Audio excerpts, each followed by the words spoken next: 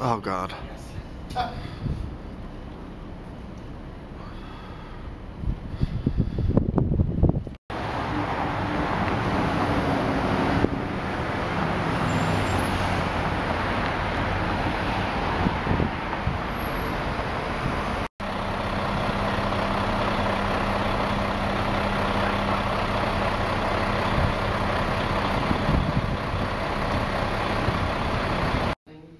um, unique and different.